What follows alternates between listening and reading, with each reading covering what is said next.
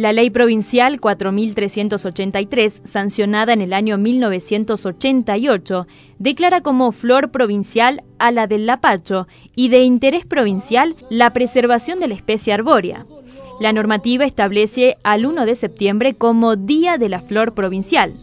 El lapacho florece entre junio y septiembre, meses en los que las calles de la provincia se tiñen de colores como rosado, el más abundante, amarillo o blanco. En la provincia se encuentran de forma abundante en el ramal y los valles y es utilizado en espacios verdes.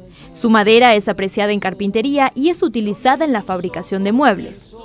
Desde la Dirección de Espacios Verdes de la Municipalidad, ubicada en el edificio 4 de junio, llevan adelante dos programas, Un árbol para mi vereda y El árbol va a la escuela, donde se entregan de manera gratuita plantines de árboles, entre esos del apacho. La recomendación es plantarlos en veredas de más de 3 metros de ancho o en plazas, parques o avenidas. Ni tu mirar volverás del lapacho al manantial.